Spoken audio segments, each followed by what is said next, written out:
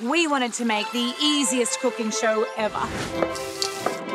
Full of yummy recipes for everyone. Because cooking as a family or with friends brings us together. And coming together to share a meal, it's something we have been doing in almost every part of the world throughout history.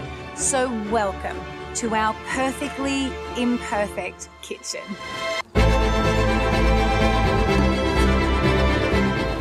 Everything in one pot simmering allows time for rich flavours to develop. So grab a hefty pot and let's simmer together.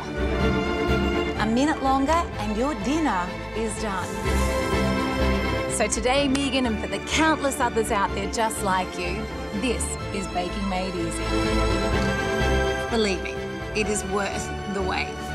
Mix not four, not three, but just two ingredients together to make this batch of beautiful cupcakes.